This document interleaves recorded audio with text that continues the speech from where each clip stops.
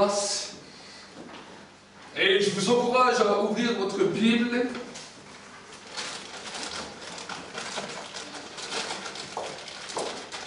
Dans les livres de Ruth.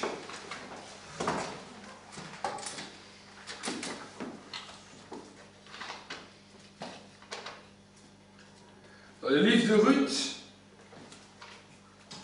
Ruth 4 au verset 1er.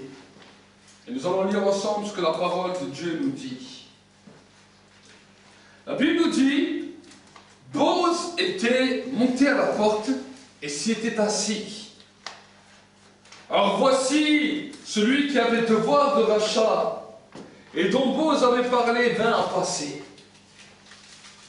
Bose lui dit, approche-toi, assieds-toi ici, un tel, et il s'approcha et s'assit. Bose prit alors dix hommes parmi les anciens de la ville et dit Asseyez-vous ici, et ils s'assirent. Puis il dit à celui qui avait le devoir de rachat Naomi, revenue de la campagne de Moab, a mis en vente la pièce de terre qui appartenait à notre frère Elimelech. Dans le verset 4, il nous est dit Et moi j'ai pensé t'en informer et te dire Faisons l'acquisition en présence de ceux qui siègent et des anciens de mon peuple. Si tu veux racheter, rachète. Si tu ne rachètes pas, déclare-le-moi que je le sache, car il n'y a personne à part toi qui ait ce devoir. Je ne l'ai qu'après toi. Et il répondit, c'est moi qui rachèterai. Bose dit, le jour où tu t'acquerras du champ de la main de Naomi, tu t'acquerras aussi, en même temps, de Ruth la Moabite, femme du défunt, pour maintenir le nom du défunt et son héritage. Celui qui avait le devoir de rachat répondit, je ne peux pas racheter pour mon compte, de peur de détruire mon héritage. Rachète pour toi ce que j'ai le devoir de racheter, car je ne peux pas le racheter. Autrefois en Israël, pour valider une affaire quelconque relative à un rachat ou un échange, on ôtait sa sandale et on la donnait à l'autre, et cela servait d'attestation en Israël. Celui qui avait devoir de rachat dit donc à Bose, fais l'acquisition pour ton compte, et il ôta sa sandale. Alors Bose dit aux anciens et à tout le peuple, vous êtes témoins aujourd'hui que j'ai acquis de la main de Naomi tout ce qui appartient à Elimelech, à Kilon et à Malon, et que je me suis également acquis pour femme Ruth, la femme de Moabite, femme de Malon, pour maintenir le nom du défunt sur son héritage et pour que le nom du défunt ne soit pas retranché d'entre ses frères et de la porte de sa ville. Vous en êtes témoins aujourd'hui. Amen. Nous allons parler aujourd'hui d'un sujet important. Et nous allons parler du devoir de rachat. Amen. Du pouvoir du rachat.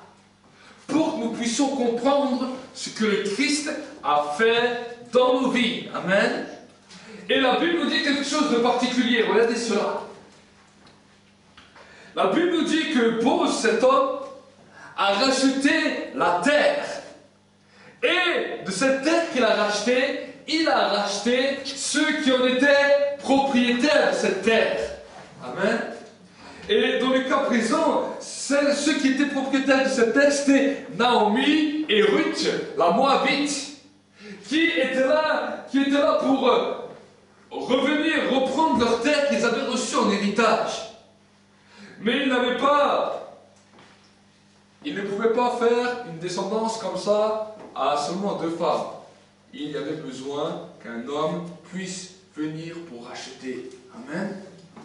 Et la Bible nous dit que cet homme Bose, qui était un parenté de la famille, et qui avait aussi un devoir de rachat, a décidé de racheter cette terre et de racheter par la même occasion Naomi et Ruth la Moabite.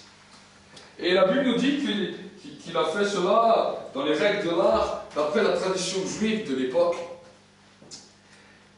Et ce qui m'a interpellé à travers ce texte, c'est que quand il a conclu cette alliance, regardez ce qu'il a dit. Dans les versets 10, il nous dit Et je me suis également acquis pour femme Ruth la Moabite, femme de Malon, pour maintenir le nom du défunt sur son héritage et pour que le nom du défunt ne soit pas retranché d'entre ses frères et de la porte de sa ville. Vous en êtes témoins aujourd'hui. Amen. Chaque fois qu'il y a rachat, dans peu importe les circonstances, il est obligé d'avoir des témoins de ce rachat. Amen. Quand tu veux racheter une maison, quand tu acheter une maison, tu es obligé d'avoir un témoin du rachat que tu as accompli. Ce témoin ici sur la terre s'appelle un notaire, qui est là comme témoin parce qu'il y a eu un rachat d'un bien pour une personne. Amen. La Bible nous dit que Christ est venu pour racheter la terre et pour racheter les hommes. Et la Bible nous dit quelque chose d'important. Quand il a accompli ce rachat, quand il est passé à travers la croix, la Bible nous dit, il a appelé les disciples. Il a dit, voici maintenant votre nouveau rôle sur la terre. Vous serez mes témoins. Vous serez témoins que j'ai racheté la terre et que j'ai racheté les hommes de la terre. En d'autres termes, vous serez mes notaires. Amen.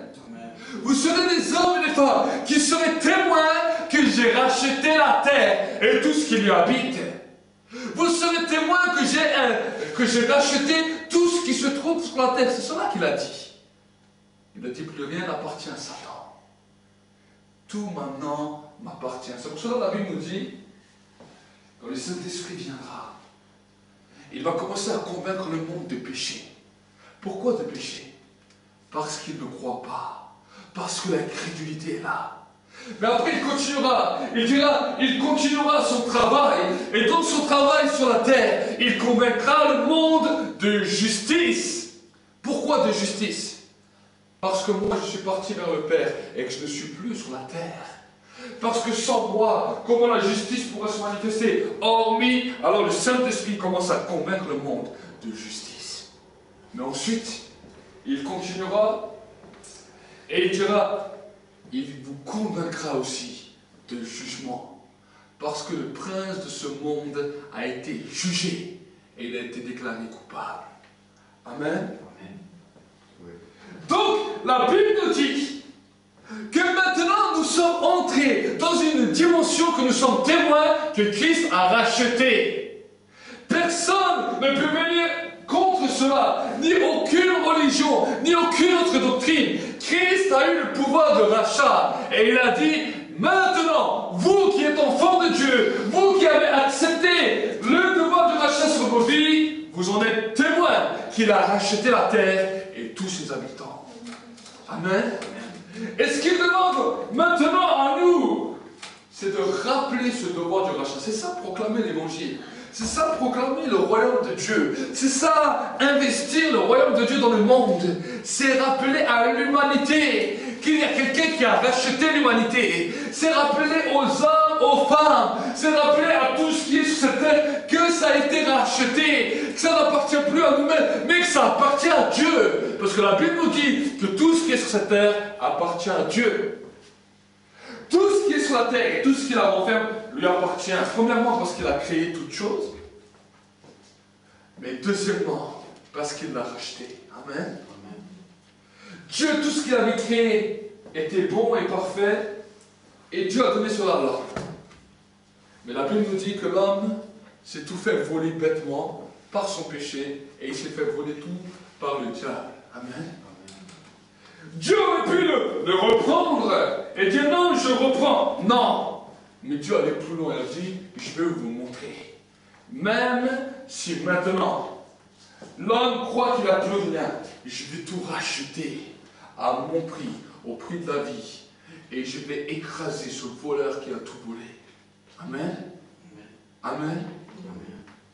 C'est cela.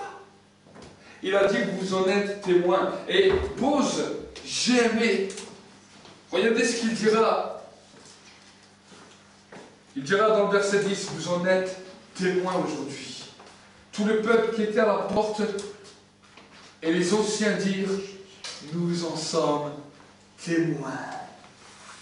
Et l'Éternel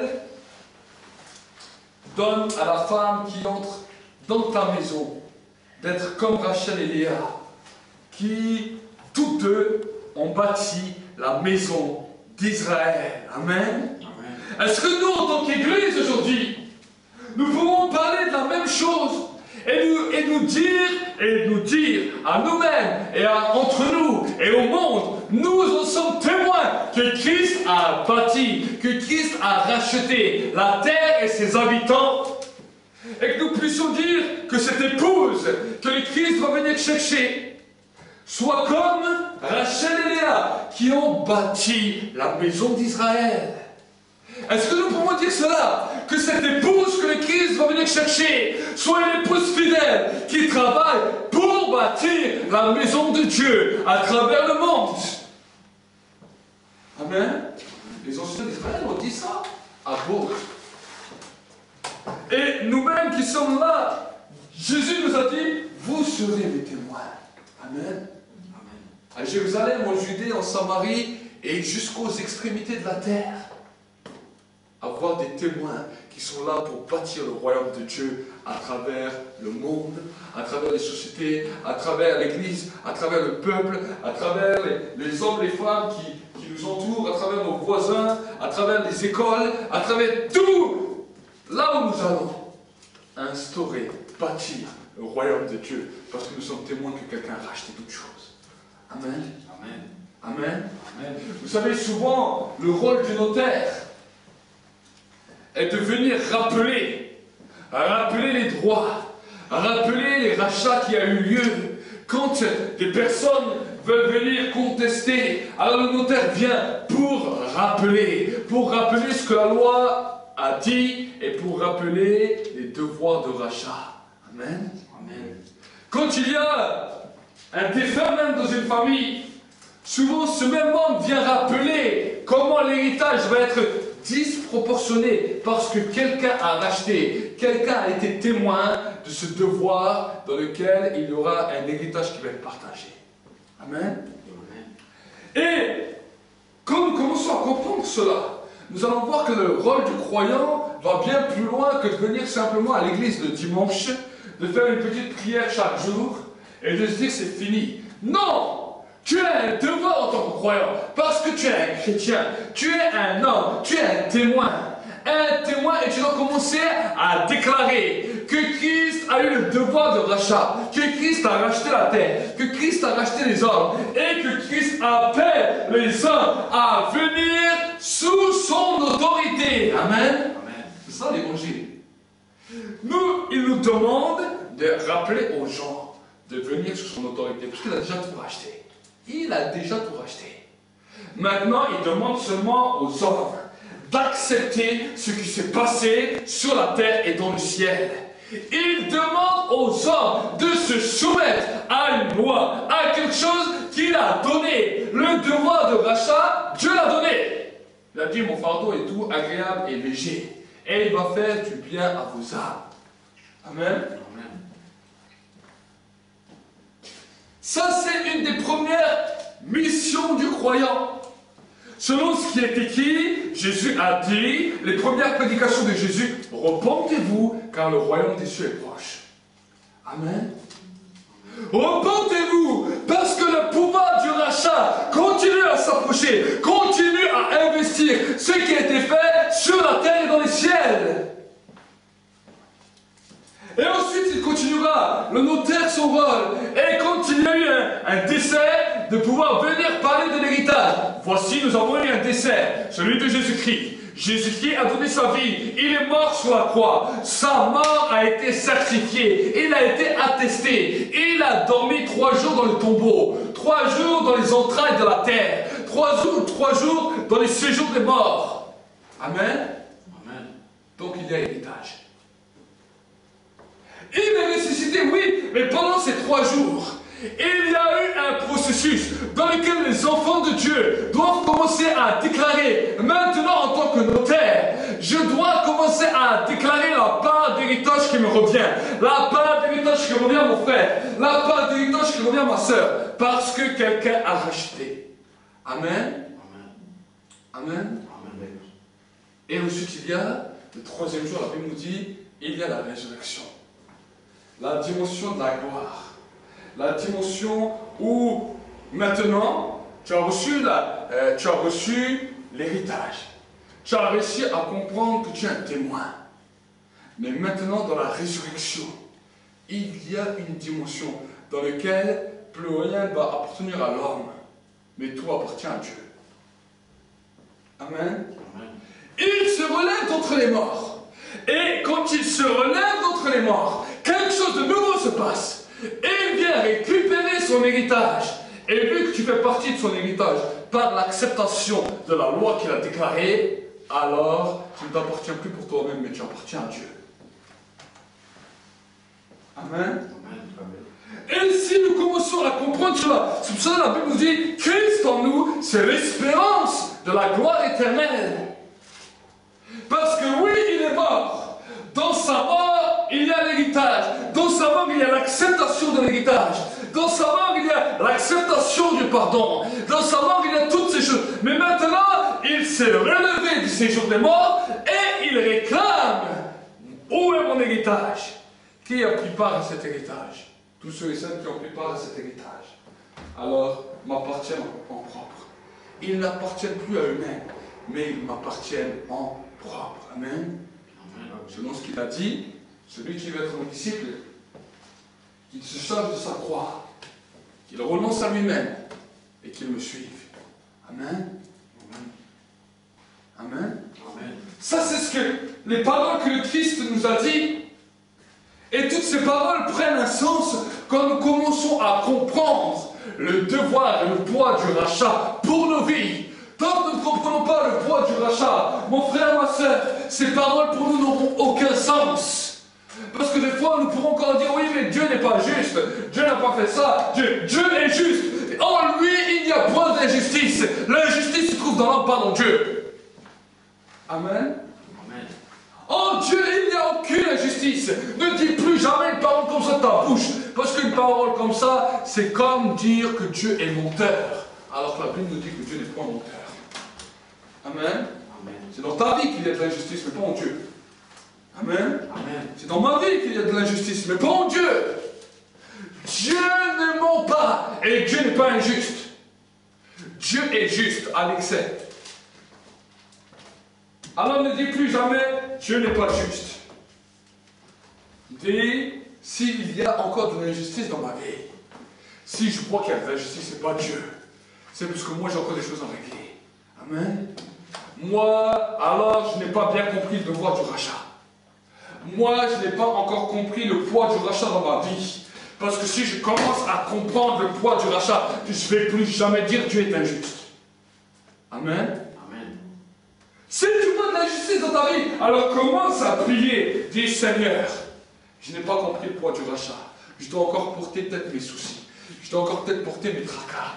Je dois peut-être encore porter mes raisonnements, mes pensées qui m'éloignent de toi. Et à cause de ça, je crois que tu es injuste. Mais c'est pas toi qui es injuste je vois moi, je te demande pardon, parce que toi, tu es le Dieu de la justice. Le Saint-Esprit vous convaincra de justice, parce que je ne suis plus là. Amen.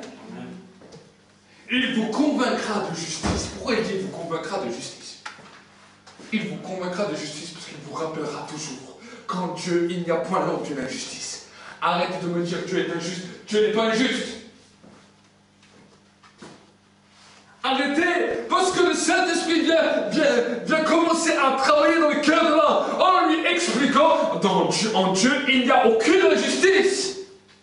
En Dieu, il n'y a aucune injustice. Voilà ce que le Saint-Esprit rappelle jour après jour. Alors que je suis en train de vous prêcher, le Saint-Esprit me dit En Dieu, il n'y a point d'injustice. Le Seigneur ce matin veut mettre ça à la lumière parce qu'il y a trop de pensées à travers l'église de Jésus-Christ, à travers le monde, trop de croyants qui disent Dieu est injuste, Le Saint-Esprit te dit ce matin, arrête cette parole. Cette parole n'est pas de Dieu, mais c'est ton injustice qui, qui te fait croire des mensonges. Et le diable joue avec toi pour te détruire. Amen. Amen. Il convainc de justice pour nous rappeler qu'en Dieu, il y a toute justice. Qu'il n'y a aucune partie d'injustice en Dieu. Parce que ça n'existe même pas chez lui. Amen. Convaincre de péché. Parce que vous ne croyez pas. Combien de fois vous êtes incrédule? Combien de fois Dieu parle? Combien de fois, combien de fois Dieu commence à se manifester Combien de fois Dieu commence à montrer ce quoi le péché dans ta vie Mais la dureté de ton cœur te rend tellement dur que tu deviens incrédule, que tu ne crois même pas ce que Dieu te montre. Alors le Saint-Esprit vient et il commence à me convaincre de péché. Et il vous dit, repends-toi, repends-toi. Dans la Bible, il nous a dit, des fois Jésus, quand il parlait, il disait, repends-toi, avant même qu'il t'arrive quelque chose de pire. La repentance, c'est une protection. La repentance, c'est une couverture. Et le Saint-Esprit interpelle, convainc, mais les gens n'écoutent pas. Et il dit, repentez-vous, repentez-vous, car le royaume des cieux est proche. Et alors que nous sommes là, le Saint-Esprit continue à parler. Il dit, repentez-vous, repentez-vous, car le royaume des cieux est proche. Repentez-vous de votre incrédulité. Repentez-vous des doutes. Repentez-vous. Souvent, mais est-ce que Dieu existe vraiment? Est-ce que Dieu a vraiment parlé? Est-ce que Dieu pense à moi? Pourquoi Dieu n'a pas encore intervenu? Pourquoi Dieu? Et pourquoi? Et pourquoi? Ça, c'est le, signe qu'il y a une incrédulité dans ta vie et tu dois te repentir de cela. La foi, c'est quoi? La foi, c'est une confiance totale en Dieu. Peu importe la situation, peu importe la circonstance. La foi ne se détermine pas dans le temps, mais la foi se détermine dans l'action. Amen. Et la Bible nous dit le Saint-Esprit continue. Le Saint-Esprit continue. Il convainc le monde de jugement. Parce que le prince de ce monde a été jugé il commence à vous convaincre de jugement. Qu'il y a eu des actes notariés, des actes qui sont passés en justice, des actes de jugement qui ont été déclarés en ta faveur. Mais toi, tu ne comprends pas ça. Amen. Il y a des actes qui ont été passés par en jugement en ta faveur. Selon ce que Jésus a dit, cherche premièrement le royaume du ciel et sa justice, et toutes les autres choses vont être données par-dessus tout. Donc tu dois commencer à réclamer, à déclarer, Seigneur, les jugements que tu as faits dans le ciel sur ma vie, je veux que ces jugements soient libérés, parce que maintenant, nous voyons qu'il y a des gens qui veulent, il y a, il y a les diables et ces démons qui veulent me faire croire le contraire, ils veulent faire croire qu'il n'y a pas eu de jugement, ils veulent me condamner, ils veulent m'asseoir, ils veulent m'étouffer avec toutes ces choses, toutes ces bêtises, toutes ces accusations, tous ces poids du péché qui pose sur ma vie. Alors maintenant, je ne sais plus comment m'en sortir. Mais il y a eu un jugement qui a été fait pour moi. Alors je réclame ce jugement sur ma vie. Je réclame ce jugement sur ma vie. Je commence à invoquer le jugement de Dieu sur ma vie pour que je puisse voir que ce que toi tu as déclaré dans le ciel puisse se manifester sur la terre. C'est ce que le Saint-Esprit veut. Mais souvent, nous ne comprenons pas. Et nous disons, ah, Dieu est comme ça. Oh, Dieu est injuste. Oh, vous savez, le temps de Dieu, c'est pas le temps de l'homme. C'est pas une question du temps de Dieu ou du temps de l'âme. C'est que vous ne comprenez pas qui est le Saint-Esprit. Amen. Amen. Si tu commences à comprendre qui est le Saint-Esprit, c'est pas simplement dire, ah, Saint-Esprit, mais je lui parle un petit peu. Non! Il faut comprendre son action!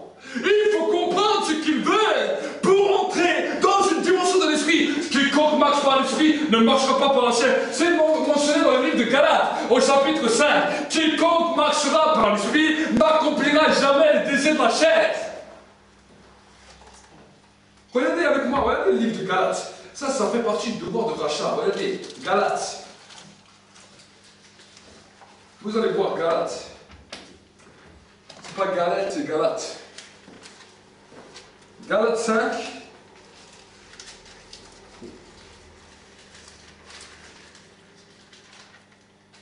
verset. On va commencer par le verset 7. La Bible nous dit, je le dis donc, marchez par l'esprit, et vous n'accomplirez point les désirs de la chair. Car la chair a des désirs contraires à l'esprit, et l'esprit en a de contraires à la chair. Ils lui sont opposés, comme le nord et le sud, l'un à l'autre, afin que vous ne fassiez pas ce que vous voudriez faire. Amen.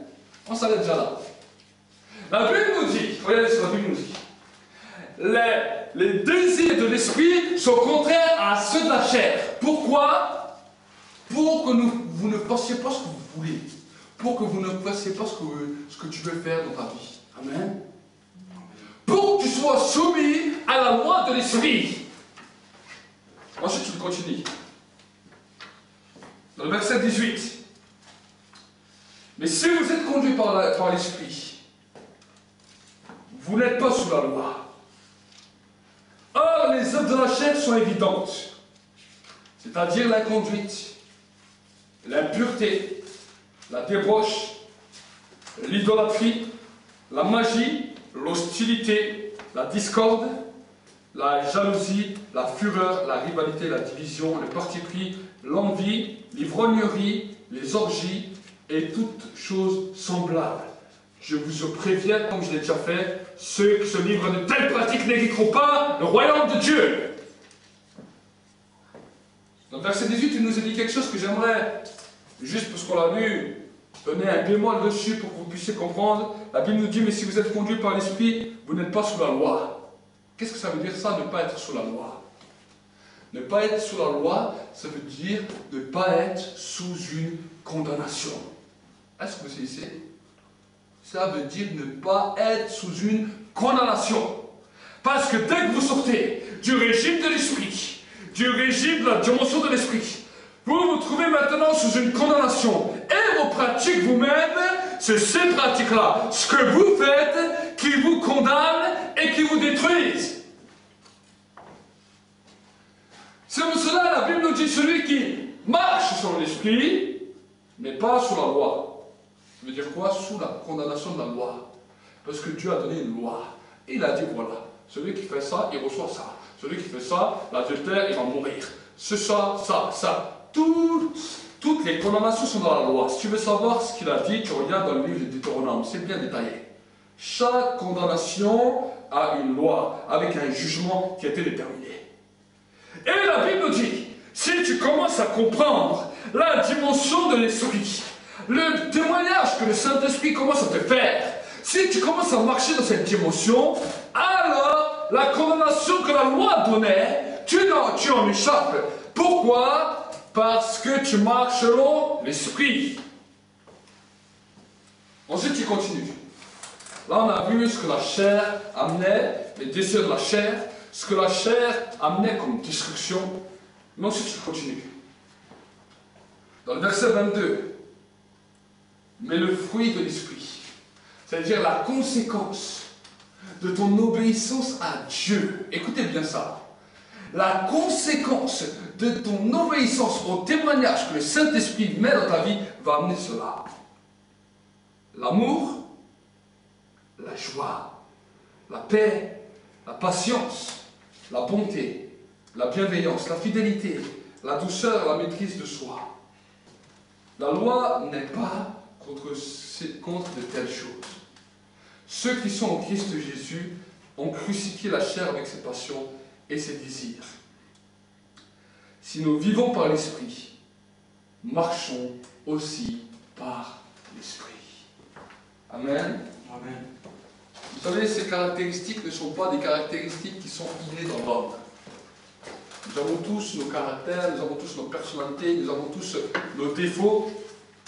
Mais la Bible nous dit que quand nous commençons à marcher avec le Saint-Esprit, quand nous commençons à comprendre son témoignage, parce que c'est ça que nous devons comprendre. Nous devons comprendre le témoignage que le Saint-Esprit fait à notre esprit. Un des premiers témoignages, la Bible nous dit, le Saint-Esprit témoigne à notre esprit que nous sommes en forme de Dieu.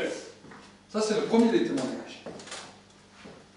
Donc, chaque fois que tu te mets en doute Et tu dis, mais est-ce que Dieu m'aime vraiment? Est-ce que je suis vraiment un enfant de Dieu? Chaque fois que tu passes pas, des paroles comme ça, alors tu es sous l'effet de la loi, sous l'effet d'une malédiction. Pourquoi? Tu commences à douter de ce que Dieu a dit. Alors à ce moment-là, le Saint-Esprit entre dans une autre dimension. Et il, dit, il commence à te convaincre de péché. Il commence à te convaincre que ta pensée, ton raisonnement est en train de t'éloigner de Dieu, te détourner de Dieu. Alors il te ramène et il te dit repends-toi parce que maintenant tu n'acceptes même plus le témoignage. Tu n'acceptes plus mon témoignage. Tu commences à m'attrister. Tu commences à, à me faire mal.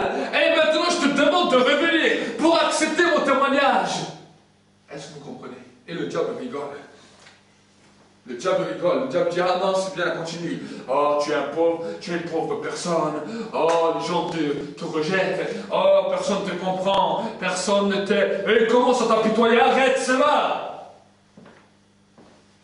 alors le Saint-Esprit continue, il te convainc, il essaie de te convaincre de justice. Il te dit non, non, le Christ a souffert pour toi. Tu n'es plus sous la, sous la loi du rejet, tu n'es plus sous la loi de la malédiction. Le Christ a souffert pour toi, il a tout donné pour toi. Celui qui est en train de te dire ça, c'est un menteur. Et son jugement a été déclaré, elle est coupable. On continue. Ah, je suis malade. Dieu ne m'aime plus. Dieu m'a abandonné. Dieu m'a laissé. Pourquoi Dieu n'intervient pas? Et pourquoi ceci Arrête, Saint-Esprit te dit arrête, commence à croire. Il te dit tout est possible dans celui qui croit. Il te dit le Christ, il a souffert à la croix pour toi. Par tes meurtrissures, tu es guéri. Arrête maintenant, reviens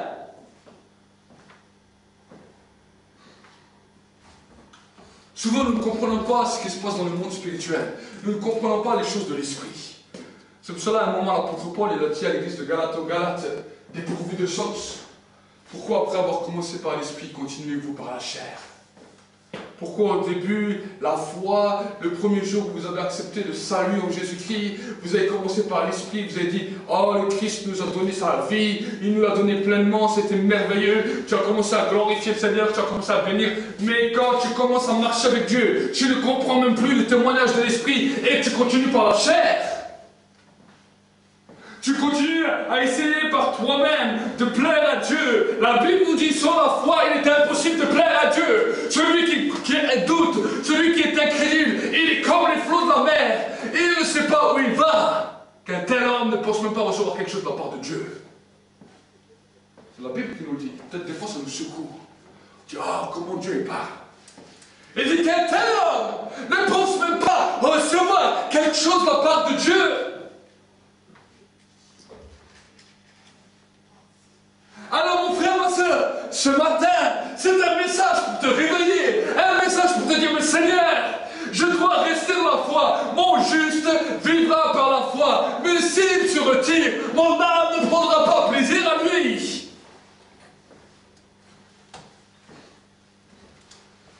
Ce n'est pas simplement nous caresser par des belles paroles. Oh, le Seigneur te comprend. Non, le Seigneur ne te comprend pas. Le Seigneur attend que tu crois.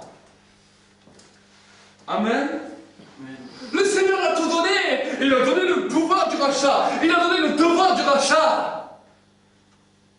Et il ne comprend pas ces mentalités. Il comprend la foi. Un jour, un homme est venu avec son fils au pied du Seigneur et son fils était lunatique. Son fils, un esprit le saisissait et dans tous les lieux, il le, jetait dans le feu, dans l'eau, dans, toutes ces choses. Et la Bible nous dit, il l'a amené chez les disciples. Et les disciples n'ont rien pu faire. Ils ont beau prier, ils ont beau faire tout ce qu'ils voulaient, rien ne marchait. Quand Jésus est arrivé, il a vu les disciples, d'abord il a parlé à ses disciples. Il les a regardés. Il a dit, race incrédule et perverse, combien de temps je vais être encore avec vous? Et il parle au Père. Combien de temps ça fait qu'il fait comme ça, votre fils? Et le Père, il raconte tout. Et le Père parle à Jésus. Il dit, Jésus, si tu veux, tu peux le faire. Jésus regardait comme ça vers le Père. Et il lui dit, comment si tu veux? Comment si tu veux? Qu'est-ce que c'est que cette parole? Et il lui dit, tout est possible à celui qui croit. Peut-être que tu es dans une position de souffrance, oui. Mais tu me dis, ah Seigneur, si tu veux, tu peux. Comment si tu veux Tout est possible à celui qui croit.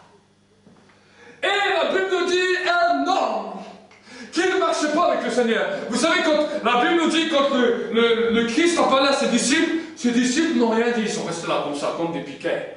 Leur incrédulité les a amenés que quelques temps plus tard, ils ont rejeté le Christ et l'ont renié. Mais cet homme, alors qu'il a entendu les paroles qui étaient dures du Seigneur, il a compris le témoignage du Saint-Esprit et il s'est jeté au pied du Seigneur. Il a dit Seigneur, viens au secours de mon incrédulité. Pardonne mon incrédulité. Pardonne-moi, j'ai compris maintenant. Et la Bible nous dit que Christ a guéri son enfant.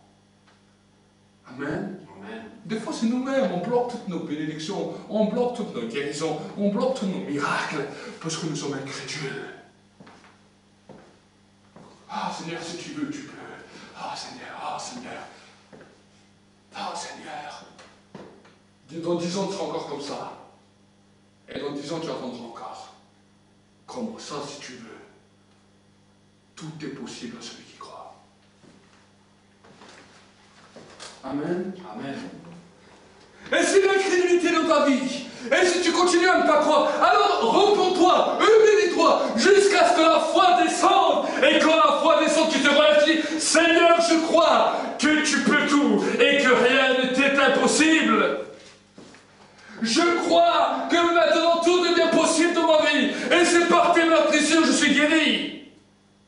Et tu me dis, et si je ne suis pas guéri, alors continue à prier, à te repentir. Donc la foi n'est pas là. Continue. Du moment que tu continues à me dire, et si je ne suis pas guéri, alors va prier. Va prier. Amen. Amen. Souvent j'ai vu cela. Et souvent, moi-même, dans ma propre vie, j'ai compris cela. Et des fois même j'étais malade, j'étais dans des situations terribles. Si je ne croyais pas, je disais, Seigneur, pardonne-moi mon incrédulité. Et quand j'avais la foi, je dis, Seigneur, je suis guéri. Peu importe, même si je ne sentais pas, je sentais pas encore la guérison. Je dis, Seigneur, je suis guéri, je te remercie, je suis guéri. Je suis guéri. Mon temps dans ce Dieu n'est pas euh, est fini. Et je commence à déclarer des choses. Je commence à dire des choses. Et tout d'un coup, alors que je ne m'y attendais plus, parce que j'étais déjà dans une perspective de foi, tout d'un coup, le miracle s'est produit. Amen.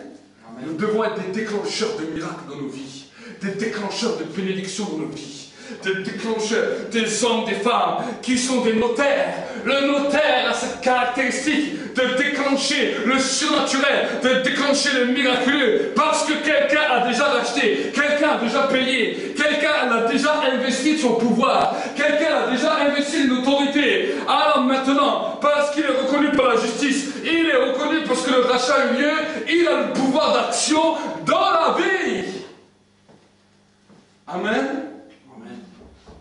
Ces deux choses sont réunies. Et là, il peut être un témoin puissant, témoin au niveau, au, niveau de la loi, témoin au niveau du rachat, et témoin dans la puissance. Voici la Bible dit, vous recevrez une puissance, celle du Saint-Esprit, survenant sur vous, et vous serez des témoins efficaces, parce que vous serez investis de l'autorité de Dieu par la foi, de l'autorité du nom de Jésus par la foi. Voici en mon nom déclare Jésus, vous imposerez des malades, des malades seront guéris, sur les serpents, sur les scorpions, et sur toute la puissance de l'ennemi, et rien ne pourra vous nuire. Vous serez investis du nom de Jésus, de l'autorité de la loi, en nom de Jésus dans vos vies. Et secondo, ça c'est la première dimension. Et deuxièmement, la gloire de l'Esprit va commencer à se manifester. Amen. Amen. Vous serez mes témoins.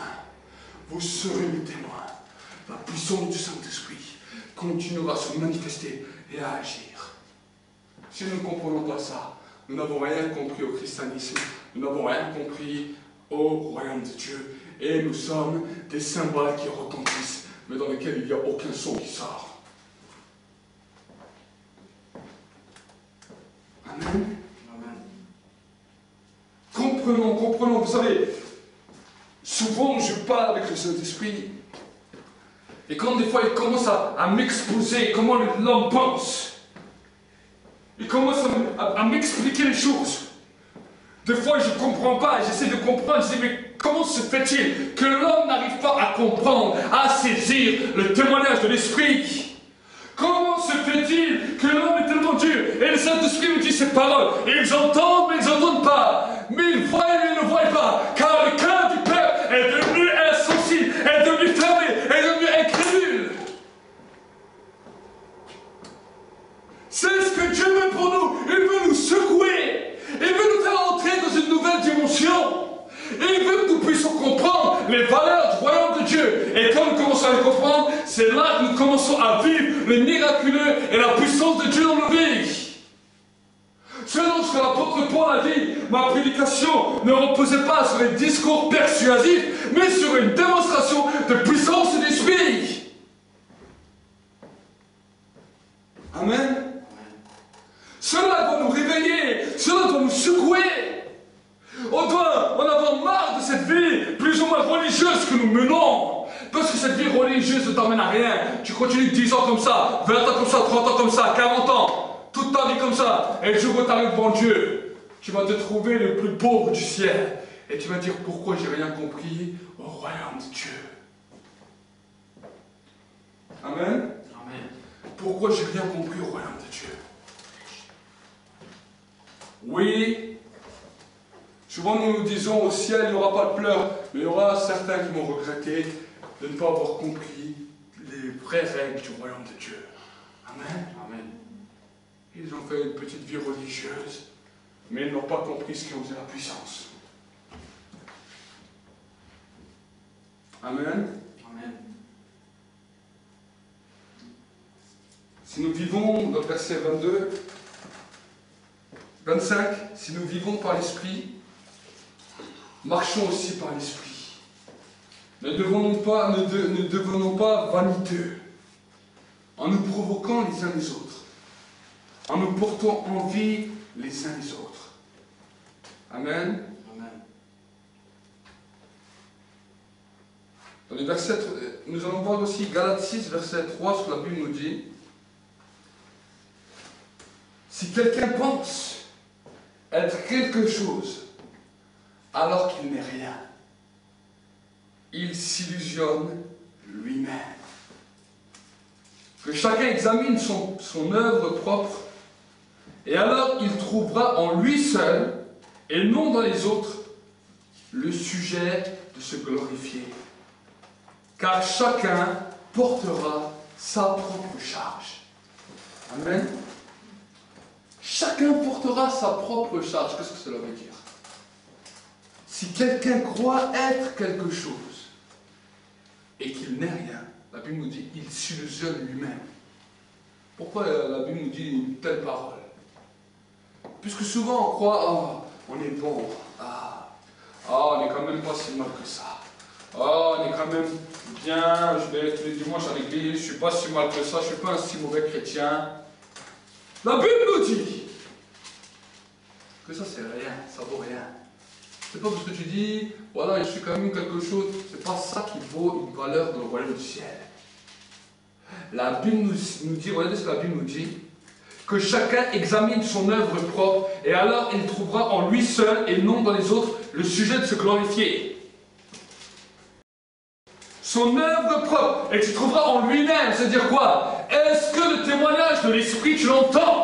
Ou est-ce que tu as fermé ton oreille à recevoir le témoignage du Saint-Esprit dans ta vie quand il veut t'amener à te repentir, quand il veut t'amener à te, à te faire comprendre certaines dimensions du royaume de Dieu, ton cœur se ferme et tu dis Ah non, je suis quand même bon, je suis pas si mauvais. Oh, les autres sont pires que moi. Arrête ces bêtises et dis Seigneur, je me repens de la poussière devant toi parce que je croyais être quelque chose alors que devant toi, nous sommes seulement des grains de sable. Tu as dit Voici maintenant, je vous ai racheté de la poussière dans laquelle vous étiez. Je vous ai racheté du bas-fond du péché dans lequel vous étiez. Et je vous ai amené dans le royaume de lumière. C'est pas moi qui me suis amené, mais c'est toi. Alors je te glorifie. Parce que tu as dit, je ne donnerai pas ma gloire à un homme, mais que toute la gloire revienne à Dieu.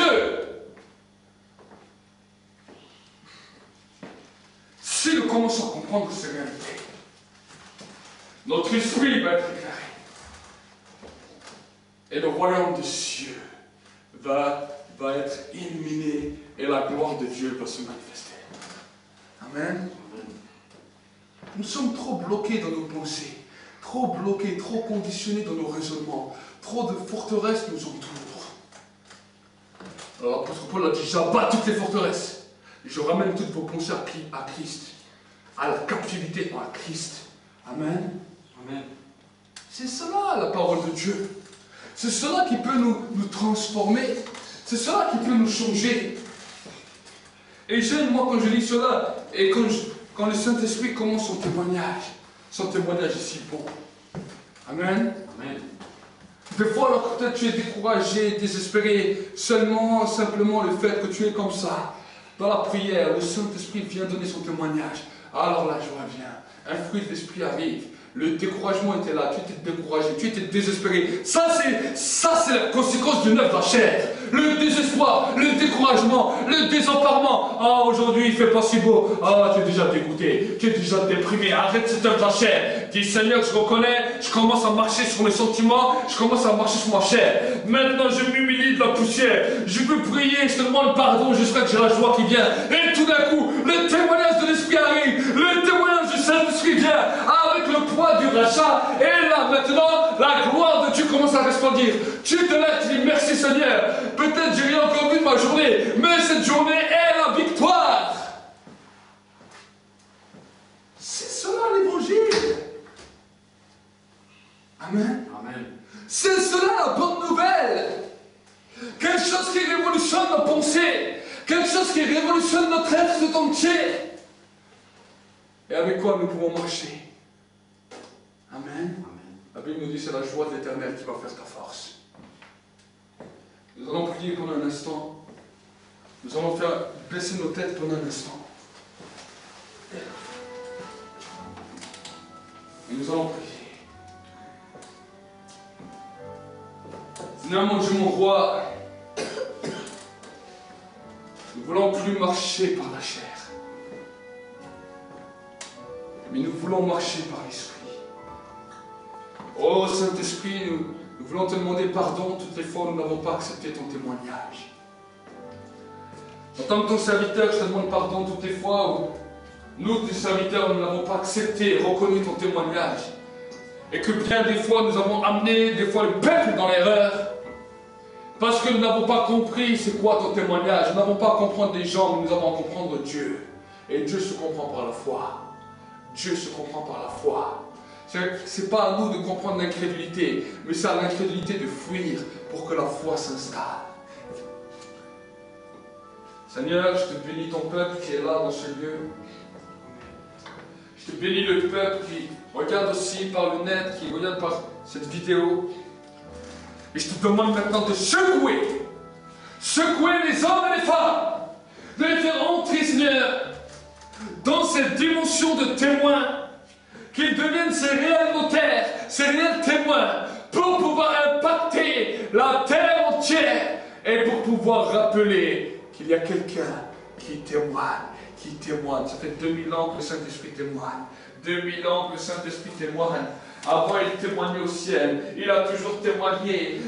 il a toujours témoigné les œuvres du Père. Il a toujours essayé de ramener les hommes à connaître Dieu. Il a comme toujours essayé de toucher la pensée de l'homme. Mais souvent, il voit que la pensée de l'homme est dure. Il ne comprend pas. Oui, le Saint-Esprit est là pour témoignage. Et il veut que tu comprennes ce témoignage. Il veut que tu comprennes quand il parle. Il veut que tu obéisses. Il veut que tu marches par l'Esprit pour que tu n'accomplis pas les désirs il dit, mais pourquoi l'homme écoute ses propres sentiments? Pourquoi l'homme écoute la poussière? Alors que la poussière un jour retournera à la terre La poussière un jour disparaîtra alors que moi je suis esprit et dit et que je demeurerai éternellement. Voilà ce que cet esprit est en train de dire alors que nous sommes en prière. Il dit, pourquoi l'homme écoute la poussière Pourquoi l'homme s'attache à la vanité? Pourquoi l'homme s'attache à ce qu'il est rien? Alors que moi je suis tout Oh, merci Saint-Esprit. Oh, merci Saint-Esprit. Aujourd'hui est une journée particulière, mon frère, ma soeur. Aujourd'hui est une journée particulière où une nouvelle révélation descend du ciel. pour que tu puisses comprendre une plus grande clarté. Peut-être tu avais entendu ce verset maintes et maintes fois, mais tu n'avais pas compris le sens. Aujourd'hui, le Saint-Esprit t'ouvre les yeux. Il a dit, je vous ouvre les yeux pour que vous sortez du ténèbres, pour que vous ne soyez plus aveugles. Trop de croyants sont aveugles. Trop d'hommes, de femmes qui se disent chrétiens, qui se disent marche avec le Seigneur, qui ont reçu Jésus dans leur cœur, sont aveugles. Aveugles. Parce qu'ils se disent qu'ils entendent, mais ils n'entendent pas. Ils disent qu'ils voient, mais ils ne voient pas. Parce que le cœur du peuple est devenu insensible. Insensible. Insensible à qui? Insensible à la personne du Saint-Esprit. Insensible au témoignage du Saint-Esprit. Ô Saint-Esprit,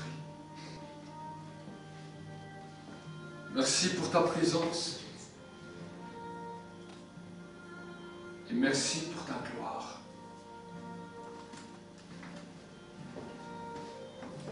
Il est ici ce matin. Il est ici. Laisse-toi renouveler maintenant de son onction, de sa puissance, son autorité, mais aussi que tes oreilles soient ouvertes à entendre son témoignage. N'endurcis pas ton cœur. Des fois, nous aimons la puissance, mais nous rejetons les témoignages. Aujourd'hui, nous puissions accepter les témoignages. C'est vraiment un appel que le Saint-Esprit lance ce matin. Il me dit, je lance cet appel Combien de temps encore mon peuple va rejeter mon témoignage? Combien de temps encore mes enfants rejettent mon témoignage Le temps est court. Le temps est court. Ne rejetons plus le témoignage de Dieu, mais accepte-le.